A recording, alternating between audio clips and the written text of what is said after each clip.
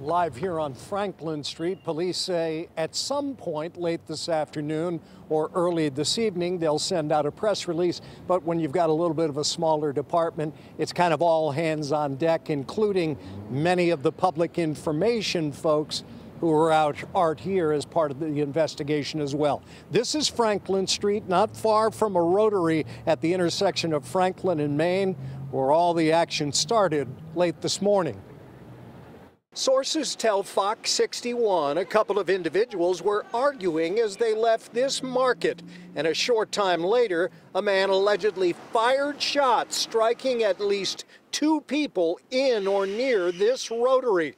One sustained a gunshot wound to the abdomen, the other in a leg. Unfortunately, this happens all the time. I just I don't understand why they do this, uh, but uh, it happens. That Norwich resident lives on Oak Street, several blocks from the shooting scene. I uh, stepped out of my apartment and I saw a guy running up the street.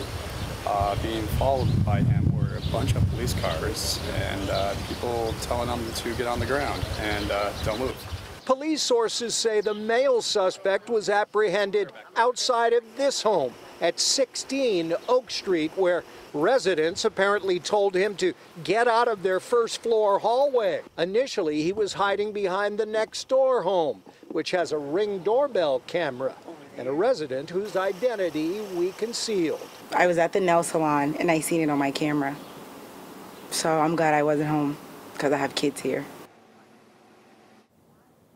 Yeah, and she said to me, she confirmed that she, the kids were not home at the time. They were with her at the nail salon. Coming up next hour, we'll show you exactly where the shooting took place. Still don't know why, but as of last check, police sources say they're still looking for a black Nissan Murano SUV that was driven by a female who was with the male suspect when the shooting happened.